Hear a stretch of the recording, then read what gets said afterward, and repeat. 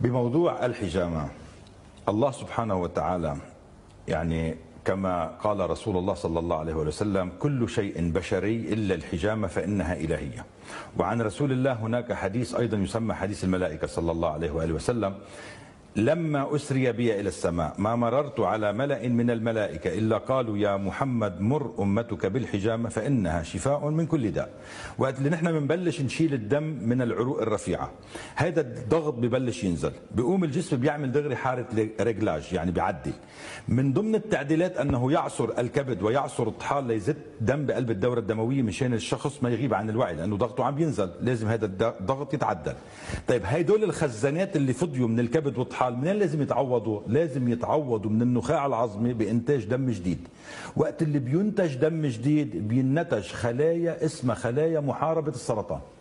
تقدير إلهي. ليش بيصير هيك؟ ما بنعرف. نعم. هول الخلايا اللي بيطلعوا من بعد الحجامة بيروحوا وين في خلية سرطانية بياكلوها. هيدا سر الحجامة. ومن هون عزيزنا كريم بقول لك أنا حتى بالتجارب اللي عندي يعني وحتى عند خي الدكتور قاسم بصراحة عملنا حجامات لأشخاص عندها سرطان وقد شفيت تماما. سبحان الله. أنا سويت لشخص بالبحرين كان عنده سرطان بالرأس وبحمد الله عز وجل قد شفي وخي الدكتور قاسم لشخص بالكلى.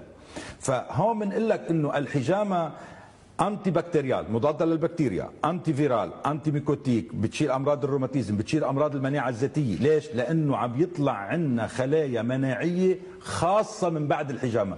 هيدي في إلها سر. ليش بتطلع؟ كيف بتطلع؟ شو السر انها من بعد الحجامة بتطلع؟ سبحان الله.